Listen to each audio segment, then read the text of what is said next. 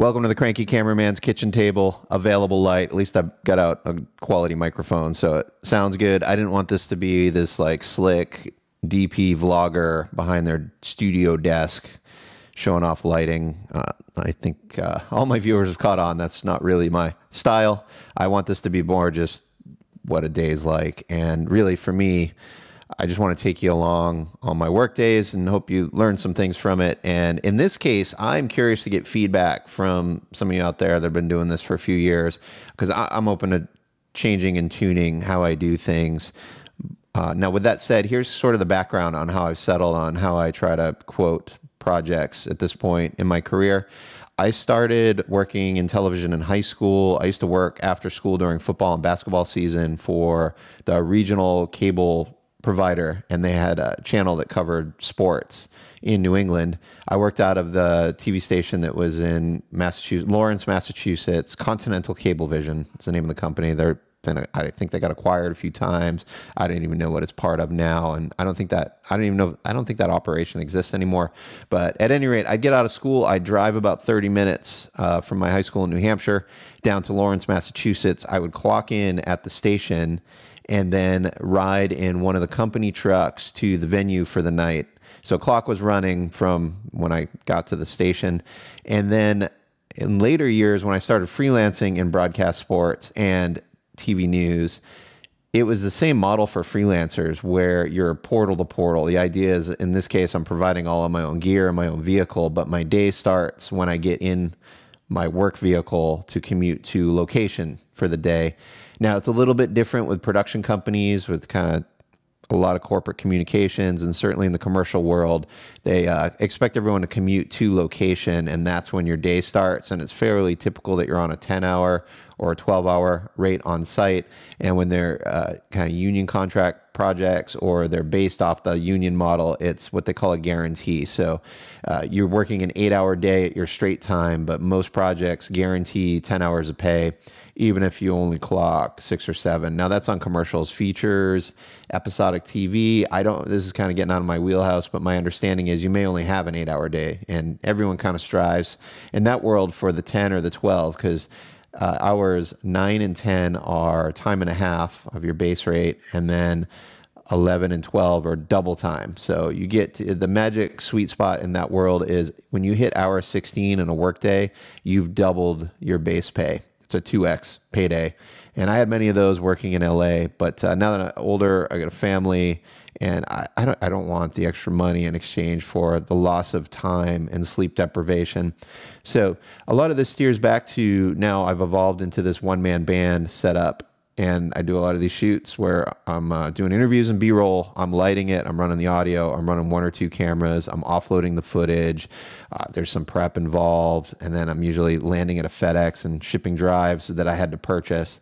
So with all that, I've tried to carry over what I learned in television, which is this portal model.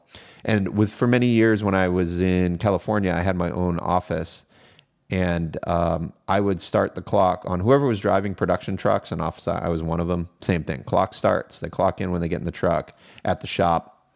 Long-winded intro. My apologies. Let's move on to my rate card. So I keep this in notes on my Mac, so I can pull it up on my phone or my MacBook and easily copy and paste it into an email.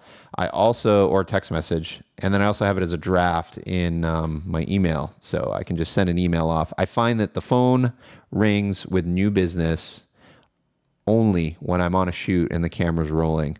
So this is a good starting point for me. They're asking availability and what my rates are, and I can just kind of zip them a, an initial rate card where I don't have time or enough details yet to tune to an actual estimate. Now, top level, I charge a package rate, portal to portal.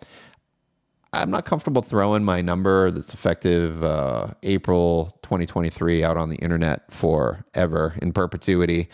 I don't know. I just feel weird about it. So I, ghosted that out for the sake of this demo.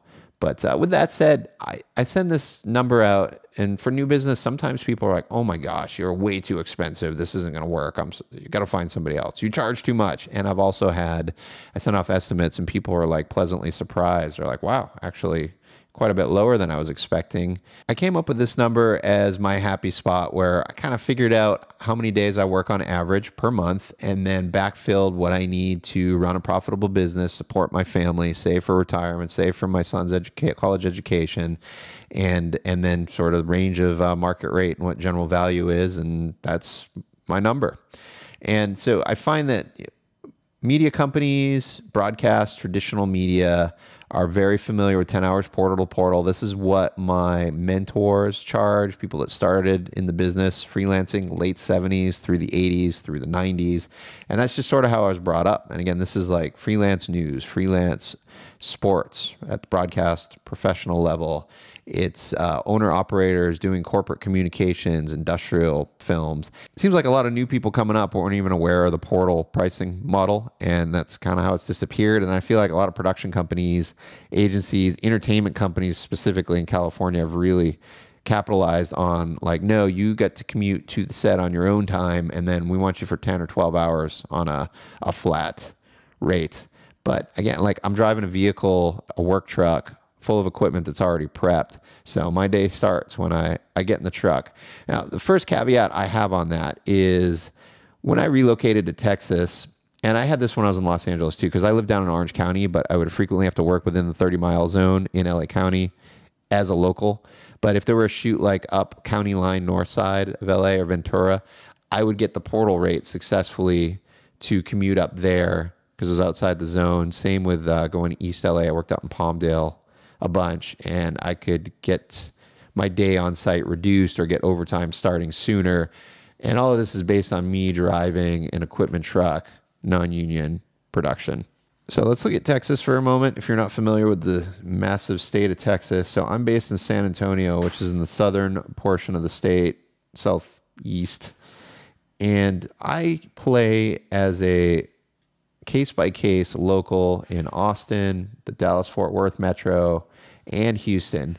And I'm listing those cities specifically because they're they're major cities in Texas that have fully established freelance production crew. There are many DP owner operator shooters in those markets. So I'm not competitive to quote a new customer shooting in Austin on a portal rate driving in from San Antonio. Now I'm on the north side of San Antonio, so my commute to Austin in non-peak traffic is 70 minutes. So totally manageable.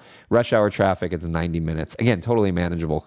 Coming as someone who worked in Southern California for many years, and I would drive up to three hours to, to go 35, 45 miles as a local. And same for Houston. I think it's about three and a half hour drive for me. Um, but I found with repeat business, my customers are, tend to be willing to compensate me for my drive time up to up to Dallas, out to Houston. But if it's new business and I need to be competitive, I work as a local in these markets. And Dallas, I'll give you a few specific examples. So I've worked up in uh, Denton. We were up here. Gosh, I don't know if it's Sherman, Gainesville, Valley View. I forget which. If it was the 75 or the 35, but it was, I think I had like an hour, hour and a half drive outside of the city center. And in that case, I could portal, 10 hour portal from downtown Dallas, even though I came in from San Antonio and I came up the night before on my own time. I did uh, one job at a manufacturing plant for an agency out of New York City as a local. And I actually didn't even disclose that I was coming in from San Antonio, but on day one, they're like, wait a minute, you drove up. Oh, just bill me for your hotel. Like, don't uh, don't worry about it. I didn't realize you were you're paying for your own hotel room. But uh, anyway, a lot of stuff's one off, one day stuff. So I just get myself there, get it, get it done. Now that's not everywhere Texas. Like I said, that's just major cities that have established crews. So I've worked down in Corpus a couple times a year, and I'm consistently am able to get my portal rate out of San Antonio. Typically, again, I, I get a travel rate in the night before plus mileage, and then I'll shoot if it's a one day, and then I just commute home. And I'll, I'll tend to give back the drive home after a shoot day. If it's not a, a long day with overtime, I don't charge for my drive time home, but I'll get the mileage. And then I've been working down in McAllen quite a bit, covering the border. But in addition to border coverage for news, I've had several corporate shoots down there, and then another uh, television series, cable series. I shot uh, some segments for an episode in the Rio Grande Valley.